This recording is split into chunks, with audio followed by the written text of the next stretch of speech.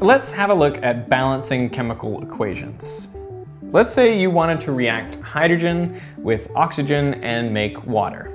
That is something which can happen, often quite explosively. If you have a look at what we've got on the reactant side and what we're trying to make, over here we've got two hydrogens, here we've got two hydrogens. On this side we've got two oxygens, but here we only have one oxygen. So we can't react these atoms on this side and end up with only this because there's an extra oxygen over here. So what are we gonna do?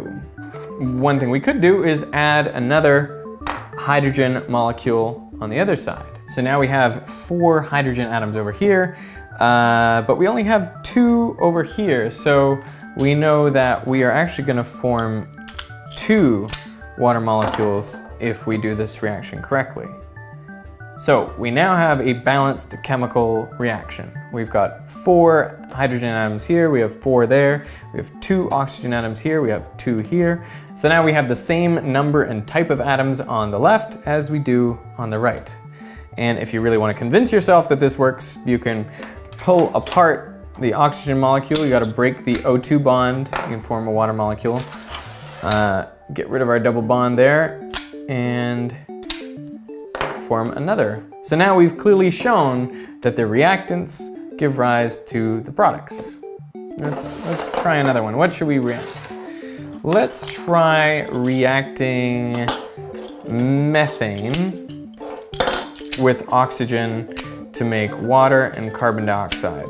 So there's my methane molecule, and I'm going to need to react it with oxygen. Oxygen requires this double bond. Okay, there we go. We have methane and oxygen, and we want to produce uh, some water and some carbon dioxide. So these are our reactants, and these are our products. Now, if we look here on the right-hand side, there's one, two, three oxygen atoms, and over here there's only two. Over here there's one carbon, here there's one carbon, so that's good. And we've got one, two, three, four hydrogens. Here there's only two hydrogens. So maybe I should add an additional water molecule. Now we have one, two, three, four. We've got four hydrogens, so that balances out. We've got one carbon on each side, so that balances out. But we only have two oxygens here, and we need four on our product side. So I'm gonna add another oxygen molecule to our reactant side.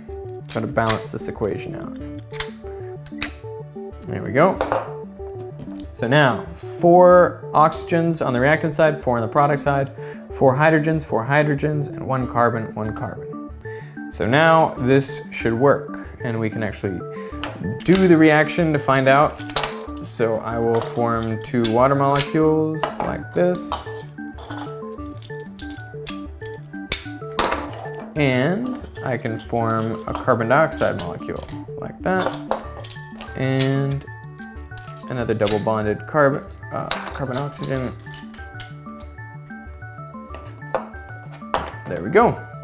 We have the same things on the left as on the right. So we need two O2s plus CH4 to make two H2Os and one CO2.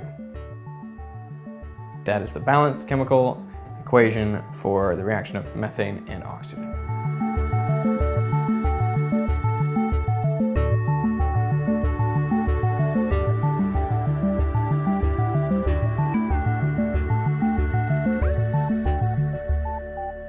Música